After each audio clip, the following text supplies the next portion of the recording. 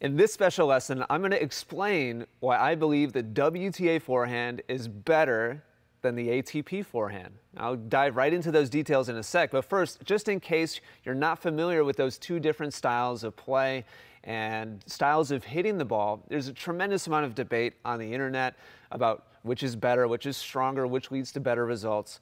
And I'm going to kind of go out on a limb here a little bit and tell you why I think it's the reverse of what a lot of people believe for a really specific reason.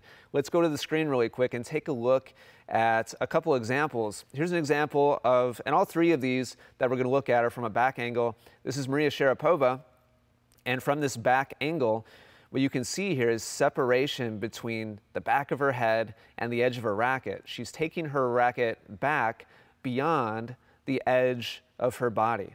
In other words, if we were to just draw a line straight down through the back of her dominant shoulder, her racket is breaking that plane and going back behind her a little bit. And you'll see different variations within this style.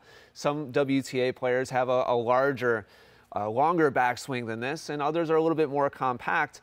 But what they all kind of share in common is this style of take back with the racket coming back and breaking the, the back plane of the body. So that's her take back on this swing. If we move over to Victoria Azarenka on a forehand, we'll see a very similar pattern.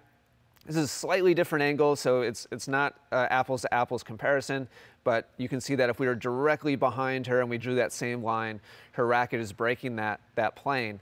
And this is as contrasted to Roger. We see him set up from uh, directly behind him. If we were to draw that same line just in line with his shoulder, you see that his racket stays on the front side of that line.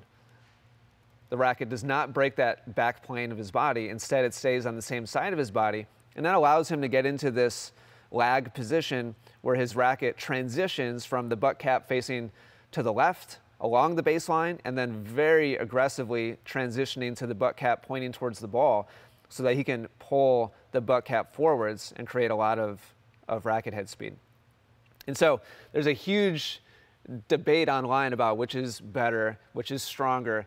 And I'm here to tell you that it's that's just an academic and in theory kind of debate. When it comes to the games of amateur athletes like myself and like 99.99% of people that watch the videos here on the Essential Tennis YouTube channel or on Facebook or on Instagram, the reality is if I were to just be able to snap my fingers and instantly adopt the forehand of Sharapova or the forehand of Azarenka and be able to strike the ball as cleanly and as powerfully as either of them do, my game would get a tremendous instant boost because they both strike the ball way stronger, way more athletically than I do.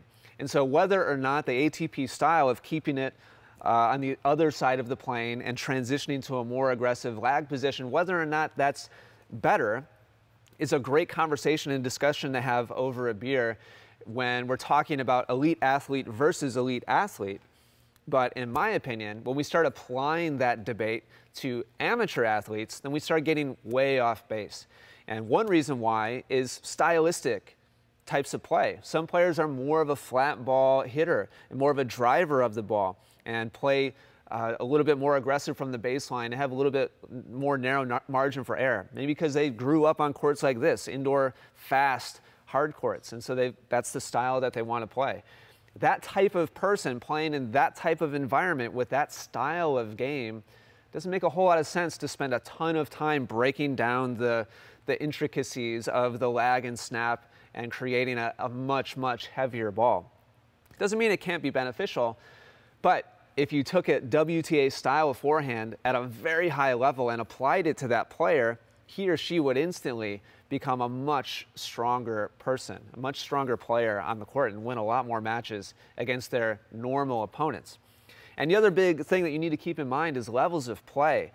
There's a tremendous gulf between us and the players that we're debating about.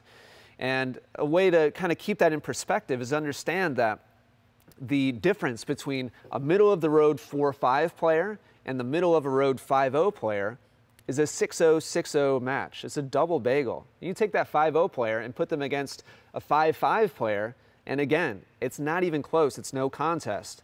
And then that 5-5 player to a 6-0 player and 6-0 player to 6-5 player, so on and so forth. There's layer upon layer upon layer.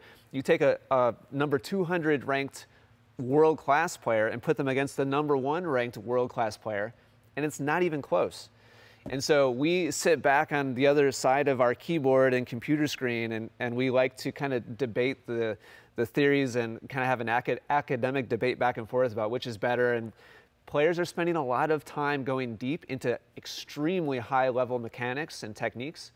When the reality is, if they kept their more WTA style forehand, like mine is more of a WTA style versus Kevin's, which is more of a ATP style, I know that there are things that are much more beneficial to me than trying to completely change my style of striking the ball and try to mimic Federer and completely copy him. There's much more fundamental things that make a much bigger impact for me. So that's why, you know, a little bit of uh, a little bit of uh, controversy there in the title of this video, but I strongly believe that either one, you take a world-class WTA or world-class ATP style swing, and you just copy the fundamentals of either one, and they're both the ones that we should be looking at. And really, it's more a matter of style than it is which one is, is better, world class versus world class athlete.